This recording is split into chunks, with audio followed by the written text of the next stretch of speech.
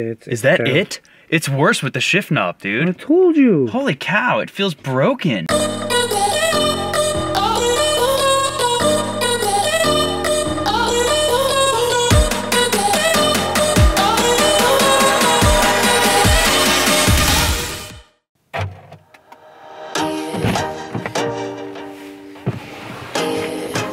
Hello everyone, welcome back to the channel. Um, today's an actually an exciting day. We're going to finally fix this issue with the shifter. I am so excited to get rid of all this, uh, the slop and everything else. Uh, we got the Kartboy short shifter um, and all the bushings that go along with it, the pivot bushings, the transmission bushing and everything else. So it's gonna be a it's gonna be a good time. I hope everyone everyone is safe um, during this pandemic coronavirus craziness. Uh, we're doing everything we can to give you guys uh, some content, entertainment, uh, to keep you guys occupied during these times. So uh, give us a like and subscribe to the channel. Let's get to it. Already, just like that, we're back in the garage. Um, I I'm waiting for John to come in. Uh, he had to go run an errand real quick. But uh, pull it in the garage, gonna check the oil real quick. You know how EJs are. Um, and then we're going to start tearing it apart and start installing um, the, the short shifter and the bushings. So stay tuned. Dude, you're gonna miss you're gonna miss this, I think. This that's it's I mean, look at it. yeah, it is horrible. okay. Uh, so let's go ahead and get the shift knob off that you threw on here because you because you I had can't, it. I can't even find gears. I mean, it's terrible. Alright, put that there. You said this is a 15 mil. Let's get the shifter off, and then we're gonna. Uh, do I have to take that little hex key off too? No. It just untwists. Yep. Untwist the black part. Yep. Okay. All right. Cool. I don't think I've un. So the hex key actually keeps the shift knob straight once you install it back on there. Oh, gotcha. Like the letters and numbers align Yeah. with the front of the car. Okay. All right. So that's off. Uh, we're in the air, so I guess we don't need any brake anymore, huh? Think about that one. Well, better safe than sorry. Yeah. I'm just gonna think about it. Let's go ahead and undo this plug for the mirror adjustments. Stick that right there. Um, this guy pulls up. Stick that right there also. Wow, that was quick. How many times have you taken this apart, man? Never. Holy cow. Oh boy. All right, so I'm pretty sure this is a 12 and then 10s. So let's go ahead and take that stuff off. So let's get these 10s out of here. Probably could have grabbed the drill, made this faster, but. All right, so we got the shifter out. Um, this is always interesting getting out, but um, if you just pry down, they pop right out. Um, getting them in is always fun. I've, I've literally seen people that post on uh, forums or on Facebook or something. They're like, I can't get this to go back in. Um, getting it to go. hit it with the rubber mallet? A lot of people do, but the rubber mallet just bounces and this just absorbs the shock. Uh, I think I usually end up going in at an angle, but I can't remember. We'll find out in a minute when we it back. It's always interesting. Like sometimes it goes really well, and then sometimes you're like, how do you get this in? And it, it's not that hard. It just doesn't work. So, uh, so I think we're I think we're done up here for right this second. Um, I don't want to tear this boot until I get down there and take a peek. Right, so let's go under and see what we got. Okay, so we're doing, oh boy, it's tight under here. We're doing uh, everything for the shifter. We're doing front bushings, rear bushings, the shift linkage update from Turn in Concepts, um, and we're doing transmission group N, transmission mount for the five speed, and the inserts that go right in here. Uh, we're doing those as well. So this whole, basically this assembly, which mounts to the trans mount, is all going to be good. Uh, crawling under here, if we can. All right, so we do see the problem up on here, um, which we will. Oh my God, that is, dude, that is a joke. All right, we will show you when this is removed. Uh, there's there's nothing left on the linkage update. It's metal on metal. So 240,000 miles is shining bright right now. yep. Pretty sure it's been never changed. Yep. No, definitely not.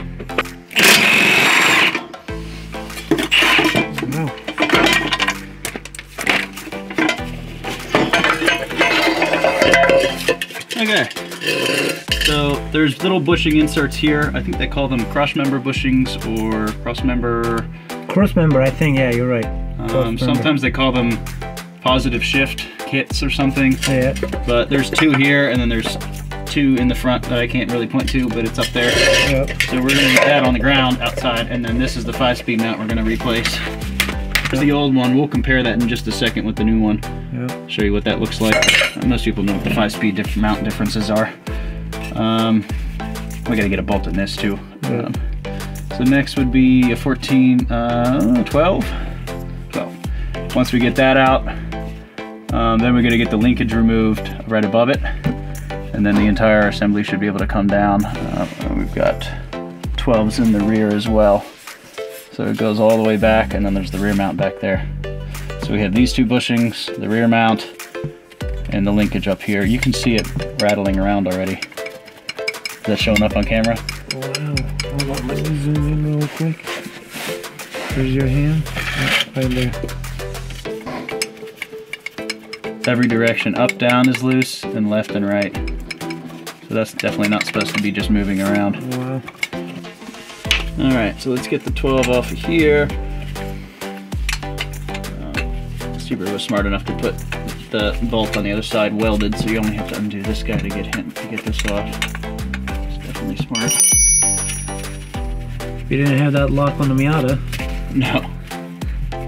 with the bell housing bolts. So this is a, um, let me see. Yeah, technically that's not a circle, it's a D shape. Um, the top of the bolt is actually like flat. So let's get, let's get this removed. Ow! Well, that wasn't very tight. I love non-rusted cars. Got one on the other side here. Comes right off and then it goes by hand. How beautiful! All right, so, all right. So we got this uh, this arm out. He goes in here. This is considered. Well, okay. He sits in here like that, and it slides on that pin. This is considered the rear mount, and then this would be the front the front pivot mount. Um, so we got to push him out or cut the top off because this is a one-piece bushing. So you probably have to cut this off and then just push it out. This one just slides right off. Um, so let's get the pin removed for the, um, oh, you can see the movement on this now. So we'll get the pin removed here. Um, you have to have a, an assortment of, um, um, um, um, um, uh, what's the word I'm thinking of? Uh, picks or chisels or picks or punches. There we go. Punches. Punches. Um, small one, there's actually two pins. So you gotta hit the small one first on the inside and then after that one's out, then you hit the next one. They both come flying out and fall to the ground. So we'll pull this whole thing down as one piece um, with this rubber and then we'll, we'll probably don't even have to take it off honestly. Just leave it on the shaft. So this, there we go, the rubber's, the rubber's down here now. Uh, all right, let me go grab my punches and a small hammer. Uh, dude, look at the floor. Holy crap! See What are those blue? That's all the bushing disintegrating. Oh wow. Holy crap! Yeah, it's disintegrating as we're working on it. So I found another, uh, this is actually an adjuster from one of my coilovers. I don't even know if I have these, this car anymore or this coilovers anymore, but it was in there. I'm gonna try to stick it in here just to hit the edge of it because that pick tool got major stuck. That definitely took like a good solid 10 minutes to get it back out. Oh, just like that. That's easy. All right, there's the inside pin. Um, I was, this worked pretty well. I was just getting it on the very. Oh my God, my hands are shaking because I was struggling so much. You hit it just on the edge of it and hit the inside one out. And then the second one will take quite a bit less effort. Nice. Hell yeah. longer extension did the trick. All right, so now the rubber boot is removed. So that's that. And then we'll go outside the car and do all this stuff and I'll show you how bad some of the stuff is. Um, so this is the boot that sat inside. Your shifter goes through that hole. Ended up not removing the boot from, from this um, shifting arm. So I just dropped this down below the inside of the car and just pulled it out as one piece. So this is what we were talking about, all the play. And then here too. In every direction, this thing is just shot. All sorts of play. So this thing was just introducing left, right, up, down. All the blue that you got uh, a little bit of footage of is just the bushing just completely disintegrated. So, uh, That's crazy. so this is the new piece. Um, that'll go in there. Um, so it has new bushings here, and then there's bushings inside there, so that should be nice and nice and fresh. Uh, Got to tighten that one up too. It looks like. That is crazy. I mean, that's to be expected, I guess. 240,000 miles, nothing lasts that long. No. No way. So then we have uh, the two uh, the two mounts here. Is that the right way? This is exact same match. So they just add a lot more material. This, Oh wow, look at the look at the difference there. Yeah, this one's actually not bad, but you can see how much it flexes. It, it's got quite a bit of movement if you do that. This one, not so much. Oh god. So, That's like but a solid mount. but it's definitely not solid because solid makes everything shake. Okay. Um, so this I've- is urethane in there? Uh, it's still rubber. It's just a harder Rubber? rubber. It's like a denser rubber. So that's those two pieces. This goes with that. That's that piece. this one. We've got the new mount for here, and there's the old one for the rear. And then these two pieces up here um, sandwich this one. So that's going to be those two mounts. So we got to go ahead and cut this guy out, slide this one on, put grease on everything um, install the universal joint, and then the five-speed mount will be towards the end, and then we should be finished. Oh, wow. Um, This looks really, really bad. yeah, it actually looks okay, but it's just a really gross design. Oh, just- okay. Yeah, cruddy. So these are the inserts for the subframe, uh, transmission subframe. Um, they're just real thin, but they're urethane. They go, They go. they go right here. You can kind of see it under there. It's the same shape. So that's just something that's not hugely necessary because those don't really introduce a whole lot of. I mean, it has a little bit of flex. You can see if I I can pivot the rear one. So it gets rid of a lot of that movement, and then your five-speed mount sits right here. And then Wow. this, this bolts to the transmission. This is gonna be really, really solid. So yeah, it's gonna feel great. Uh, the shifts are gonna fall right into gear. Um, you don't, you know, the transmission's gonna stay put and it's gonna fall right in. You're not gonna have any of the engine rocking.